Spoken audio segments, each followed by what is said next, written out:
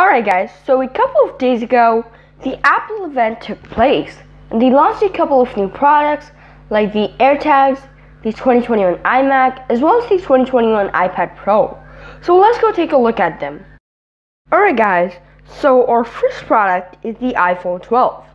Now I know that this is not a new product, however, there is a new purple color available for it, which is a special spring edition. It is only available to the iPhone 12 as well as the iPhone 12 mini. Customers can start pre-ordering this phone on 23rd April and it will be available on 30th April.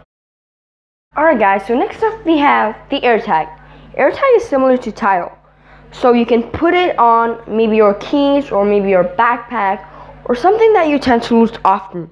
Then with the help of the Find My app in your iPhone 11 or iPhone 12, you can track it down by playing eSound or by using precision finding, which makes your Find My app a GPS which guides you to the exact location of your AirTag. Alright, so AirTags are customizable with emojis or text. You can also get a keyring or a loop for them. It is also available in leather options. AirTags come in only $30 for a one pack and $100 for a four pack.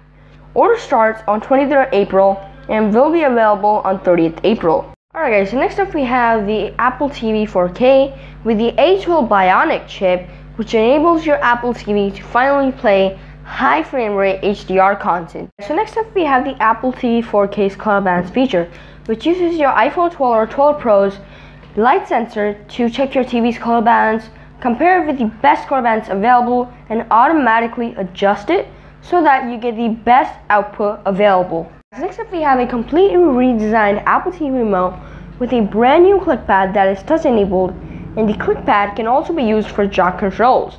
The Siri button is moved to the side. So the Apple TV 4K starts at just 179 for the 32 gigabytes version and 199 for the 64 gigabytes version. Order starts on 30th April and will be available in the second half of May. Alright guys, next up we have the brand new 2021 iMacs. Alright guys, so you have a 24 inch display along with 11.3 million pixels. You also have a 4.5K Retina display along with 500 nits of brightness. Alright guys, so you do have 1080p FaceTime HD camera, which Apple calls the best camera ever in a Mac. You also have a beamforming mic, which pretty much cancels out all the other noise and focuses on your voice. Apple also calls this the best mic ever in a Mac.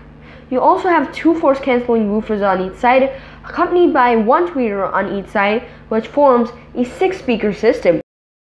It has 85% faster CPU and two times faster graphics and 50% faster graphics than the previous 21.5 inch iMac. You have four USB Type-C ports, two of which are Thunderbolt ports, and a magnetic power connector with a Brady cable that attaches straight into the power brick, which also has an Ethernet port. The new 2021 iMac also has a redesigned keyboard with an emoji button, spotlight button, dictation button, do not disturb, as well as the lock button.